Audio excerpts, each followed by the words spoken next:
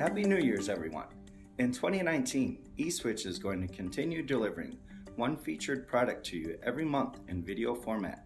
If you want to learn more about this month's electronic switch, stay tuned. In January, we would like to introduce to you the TL3315 series, a low profile tact switch. This surface mounted switch features a low profile of 0.55 millimeters, which makes it a great switch for applications that have a tight fit. The contact rating of this switch is 50 milliamps at 15 VDC with an operating temperature from negative 20 degrees Celsius to 70 degrees Celsius.